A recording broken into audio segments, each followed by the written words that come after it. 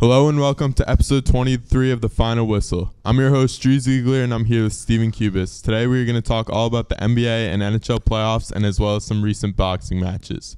So, in the NBA playoffs, there's been a lot of blowouts. The series aren't too close. Denver just swept the Lakers 4 0, and it just seemed like Jokic, he was his MVP self in that series, and the Lakers just had no answer for him.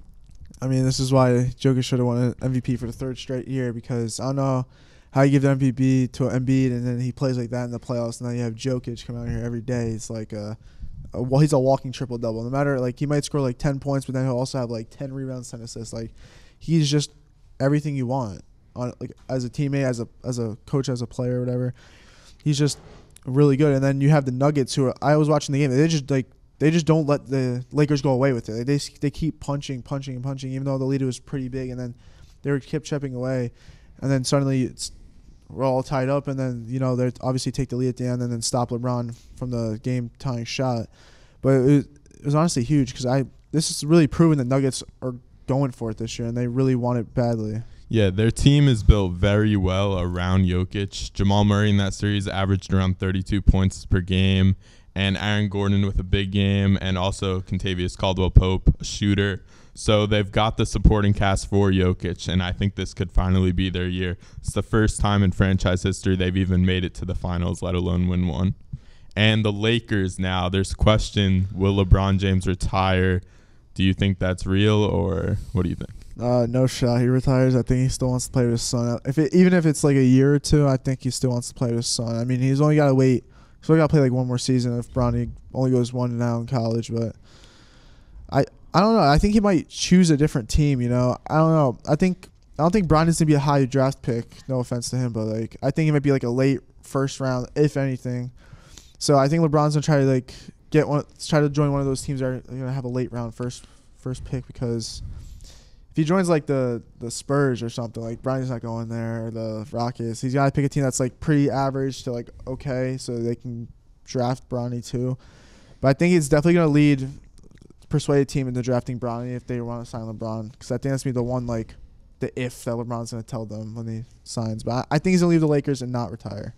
I think he could possibly take a year off and then come back. I don't know what the rules are for that, if he has to come back and play for the Lakers or not, but we'll have to see. And also, I think something interesting could be is Bronny drafted earlier just with the thought that LeBron comes to that team?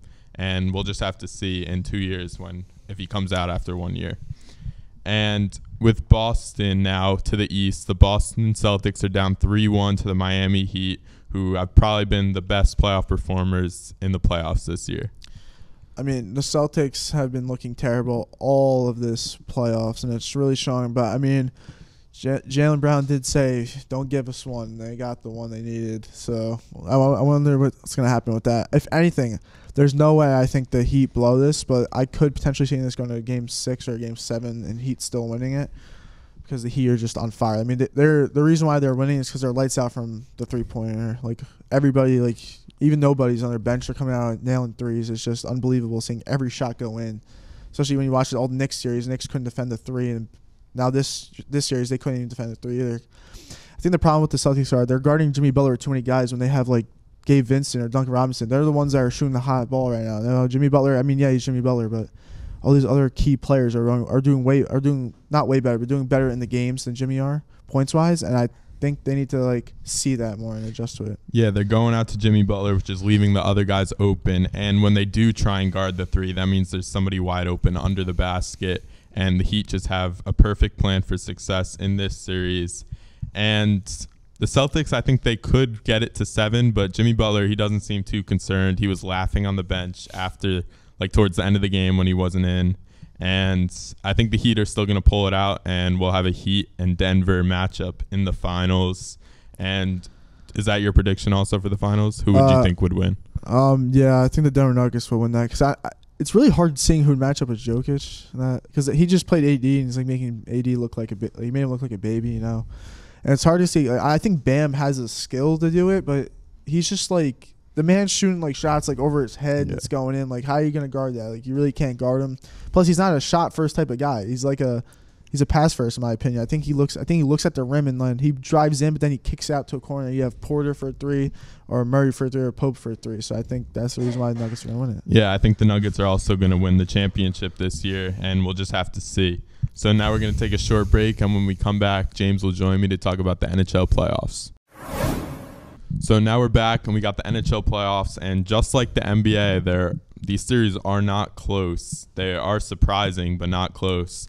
And in the West, we got the Vegas Golden Knights up 3 0 on the Dallas Stars. Vegas just dominating this series. They just have everything better than Dallas, and it's showing in this series. Yeah, the first two games were close, but I think what's happening now is the Stars, after a loss, are not bouncing back like they did all regular season. I, th- I think Oettinger hasn't looked sharp at all. I think the Knights are just taking advantage of everything. I mean, the, the, the Stars almost, I mean, they should have won game two if they didn't give up that goal with two minutes left, and then game three was just a blowout. So I mean, that, th- in that game two, that that was the Stars' chance to really, you know, get back into the series, and they just couldn't do it. And, I mean, and, and with Andre not playing well, I, the, I don't think the Stars team is good enough to offensively to really come back. And I think Jamie Benn taking that cross-checking penalty, game misconduct. I mean, that was really stupid. I mean, you're one of the best players on their team, down 2-0 it's a must-win game, and you just can't take that, especially as a veteran player. Yeah, while a guy is down, he's cross-checking him, and I think that's the whole story of this series. It's just showing the frustration that he has, and I think you mentioned a stat uh, episode or two ago about Oettinger. After a loss, he's like one of the best goalies in the league, and that's just not happening in this series. And now over to the East, the Florida Panthers just what a crazy ride this has been in the playoffs for them. They're up 3 0 on the Carolina Hurricanes now. Hurricanes showing their frustration after that game three. They were breaking sticks in the locker room, and it's just nobody can stop the Panthers right now. Yeah, I mean, one five on five goal for the Canes. I mean, that's that's why they're down 3-0. I, I don't think. I mean, that's bad, but I think defensively they've been pretty good. Every game's been a one goal game, so I think it's just pretty unfortunate for the Hurricanes, but I mean, you can't take credit away from the Panthers. I mean, I mean, we got a four overtime game in game one, ending like two in the morning, Tkachuk, and then game two, scoring a game when go by Tkachuk. I mean, this this is just a dream playoff run for the Panthers. You take out the best team of all time, arguably the Leafs, who are very solid, and the Hurricanes, who could arguably say is the top three team in the league. I mean, th- this is really you know one of the best playoff runs in all sports we've seen in a long time. So it's very impressive. And Bobrovsky shut out in Game Three. I mean, he, he's he. I think he's the most important reason why the Panthers are in the spot they are right now. Yeah, the Panthers drove the Maple Leafs GM out of his position, Kyle Dubas, and he's fired, and now he's looking for jobs, and that just seemed that's just what the Panthers do to other teams now, and I think that's their game is getting a lead and then relying on Sergei Bobrovsky to hold it. And that seems to be working right now. And we'll see how it happens if they, assuming they win this series. And we'll see how many games it goes in. But what do you think is your uh, Stanley Cup prediction, assuming the Knights and Florida Panthers win their series? Yeah, I think they're both going to win. I'm I'm gonna ride with the Panthers. I, you're a little surprised when I took them over. The, I said I was gonna take them over the Hurricanes. I think they're gonna beat the Golden Knights in six games. I think uh, I'm not really too worried about you know, their seed right now. I think they're just playing too good of as a hockey team to not win the series. So I I, th- I think the Panthers are gonna win in six games in front of their home crowd.